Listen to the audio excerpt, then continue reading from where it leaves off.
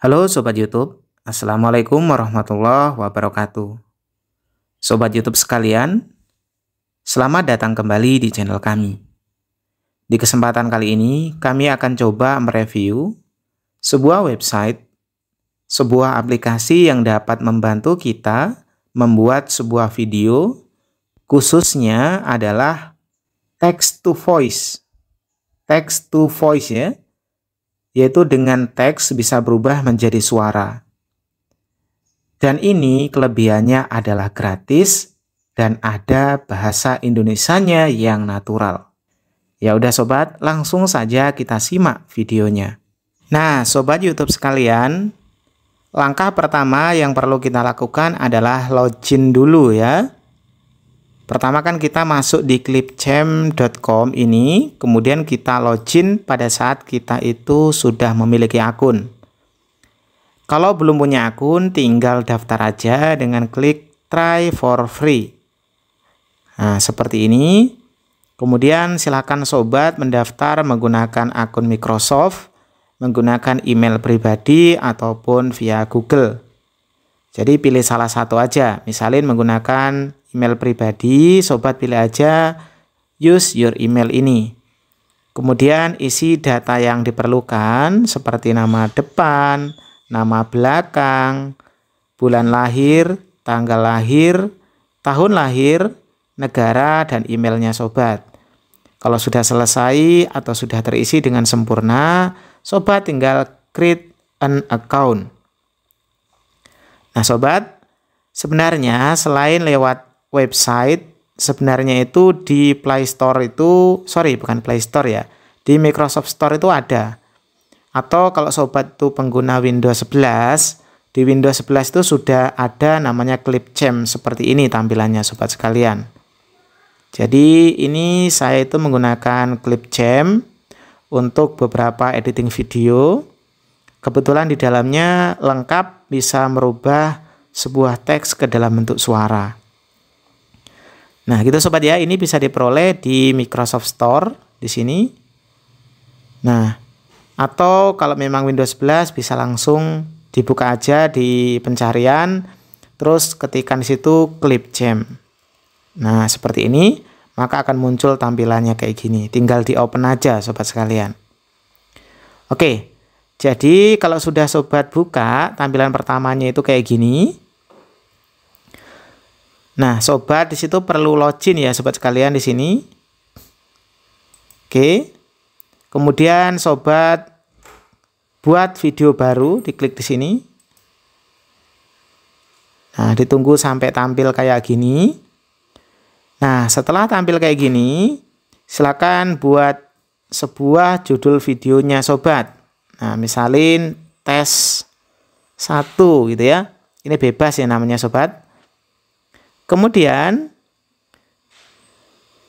sobat bisa impor media yang sobat butuhkan. Namun karena di pertemuan kali ini atau video kali ini lebih fokus ke bagian review text to speech-nya, kita pilih di bagian rekam dan buat sini, kita klik satu kali.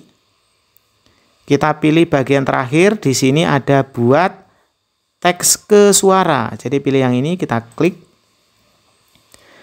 Nah, di sinilah tempat kita merubah teks menjadi suara, sobat sekalian.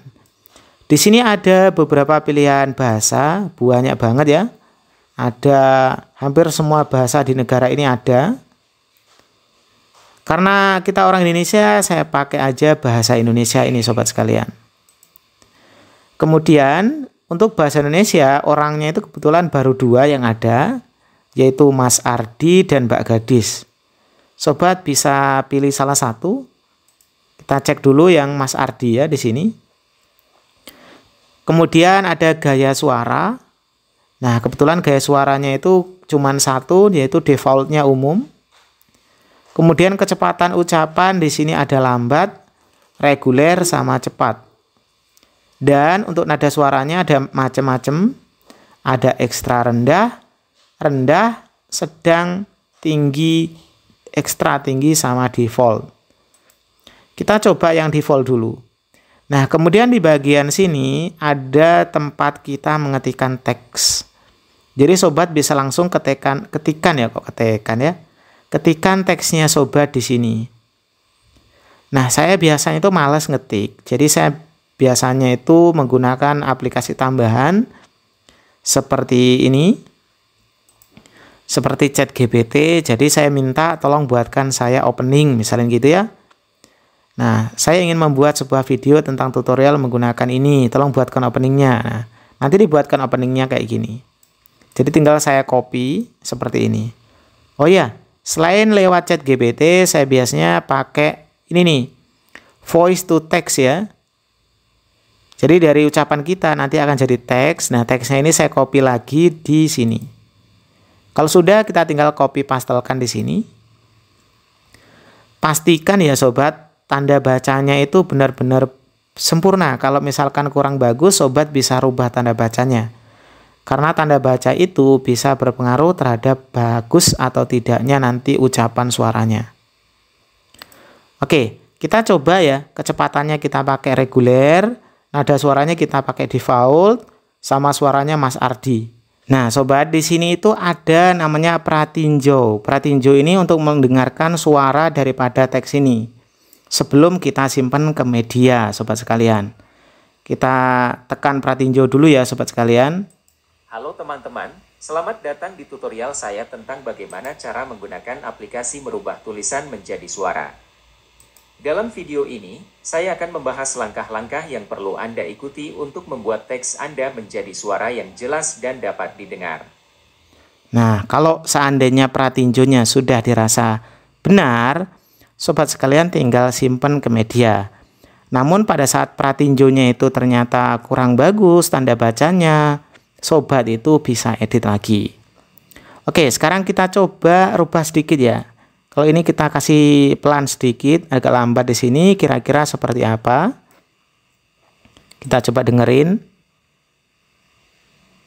Halo teman-teman, Selamat datang di tutorial saya tentang bagaimana cara menggunakan aplikasi merubah tulisan menjadi suara. Dalam video ini, saya akan membahas langkah-langkah yang perlu Anda ikuti untuk membuat teks Anda menjadi suara yang jelas dan dapat didengar. Oke, tampilannya lebih bagus lagi ya, jadi agak pelan sedikit, nggak terlalu buru-buru. Sekarang kita coba nadanya itu kita kasih yang misalkan rendah ya, rendah, sedang, tinggi. Kita coba yang paling ekstra rendah kira-kira kayak gimana. Halo teman-teman, selamat datang di tutorial saya tentang bagaimana cara menggunakan aplikasi merubah tulisan menjadi suara. Jadi modelnya seperti itu sobat sekalian, kalau ekstra rendah, coba kita pilih yang rendah. Halo teman-teman, Selamat datang di tutorial saya tentang bagaimana cara menggunakan aplikasi merubah tulisan menjadi suara. Oke, ini lumayan bagus ya. Jadi pilihan saya itu biasanya yang rendah ini atau yang memang defaultnya. Nah, kita coba yang sedang. Halo teman-teman, selamat datang di tutorial saya tentang bagaimana cara menggunakan aplikasi merubah tulisan menjadi suara.